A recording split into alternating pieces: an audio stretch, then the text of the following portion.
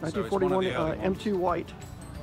And uh, what type power plant does it have in it? It's that white. It has an, its own white. Uh, It's actually built- white, built their own inline six. inline six for them. Basically, they start. They, they converted their um, truck building plants to build uh, military vehicles like many other um, factories in the world. And uh, what do we have on top for? You've got forward-facing 50 caliber machine guns, we have the two side-facing 30 cal machine guns. So uh, the British did have half tracks. They were issued under Lend-Lease. okay, Um, most of the, uh, mostly M2s and M3s, actually the whites tended to be favoured by uh, issued to Americans. The Brits actually tended to get the international design, the three I'm kind of stretching a bit, but I had one while I was doing American, so when I joined this group, I just brought it with me. yes, So marked it up as British. So the Brits did have them. yes, Um, I'm kind of stretching it a little bit because uh, I'm- I, I portray uh, 6th um, Airborne Armoured Reconnaissance. And I, so we would have, we would have um, basically mainly been recon and also charged on occasion trying to link up with the airborne troops provide support and bring them back if uh, we needed to. So they, they drop in mm-hmm, and then we'd ferret around, um, try and link up, like a bit like Arnhem, where you've got the armored columns moving into yes. the, where the airborne uh, troops have dropped. So you would this would have been a recon vehicle. it's set up as recon. Its purpose was really just to reconnoiter um, and provide some type of support if needed. We wouldn't engage. Um, would tend not to go to the front lines. Any tanks, you basically get out of the way. It is Oh yes. Yeah, Rub- wouldn't be it's much rubber back this track, tank. so it's a little quieter than a, a normal track vehicle.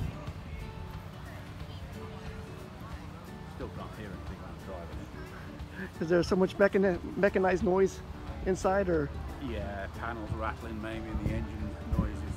You can't hear much. Tracks are actually quite quiet, but the rest of the vehicle's and you go by Smoky? Yeah, it's the engine's a little tired, so uh, I get some blow by and you'll see some smoke from it occasionally. So So she's got the got old the nickname nickname Smoky. I like it. the, uh, the engine really needs a rebuild, but while she's running, I'm leaving her alone.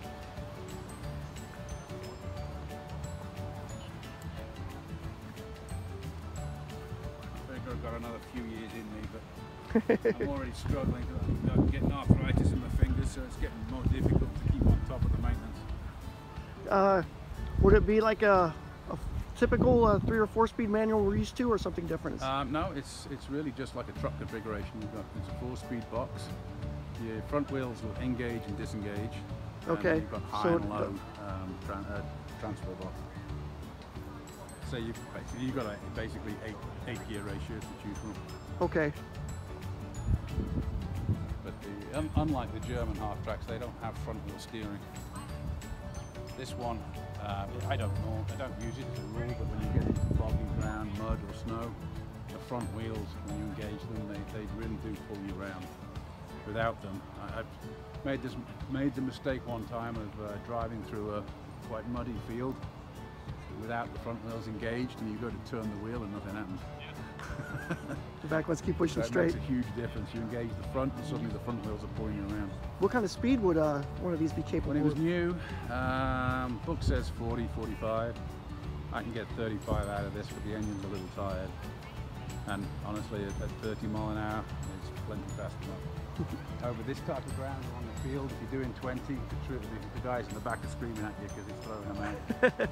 Now, uh, would they have used anything like this uh, when they were like uh, Operation Market Garden, um, when they were running? the- Uh, supplies and stuff they, they in? would, um, but it would have been 30 Corps that had them Okay. uh, making the link up with the American.